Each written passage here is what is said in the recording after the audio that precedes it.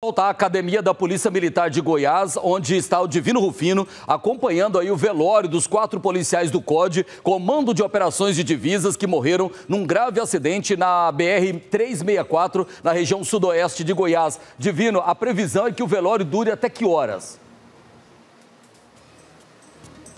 Loares, o velório começou às 11h40, agora meio-dia e 47. O velório vai seguindo tarde adentro.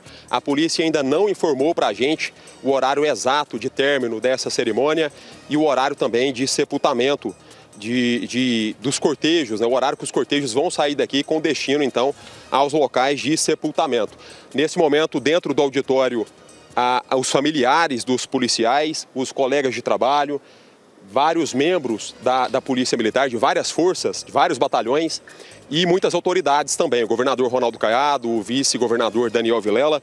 E há pouco, Loares, nós não entramos a pedido da polícia, em respeito à polícia, eles pediram para a gente aguardar do lado de fora do auditório. Mas eu ouvi agora há pouco um trecho do discurso do comandante do, do COD, o Hugo Bravo.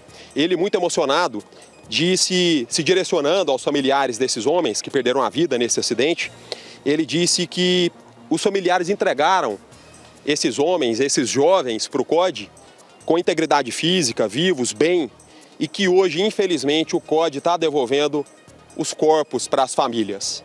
Ele disse também que ser policial não é uma profissão, mas é um sacerdócio e que tem que ter estômago para ser policial. Disse ainda que os policiais de Goiás têm ideais muito fortes e que eles empenham as vidas todos os dias a favor de muitas pessoas que eles nem mesmo conhecem. O discurso do Major Hugo Bravo foi marcado por muita emoção, em alguns momentos ele embargou a voz.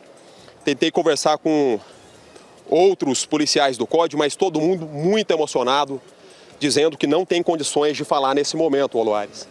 Eu encontrei agora há pouco a, a ex-esposa de um dos policiais que morreu nesse acidente e ela com o filho desse policial, um menino de apenas 9 anos de idade.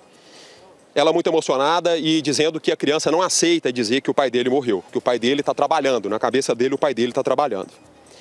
O, a criança não quis chegar perto do caixão, está aqui do lado de fora do auditório.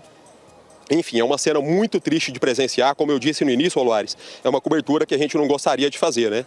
A cobertura que a gente gosta de fazer é mostrando o trabalho da polícia, empenhada em combater o crime.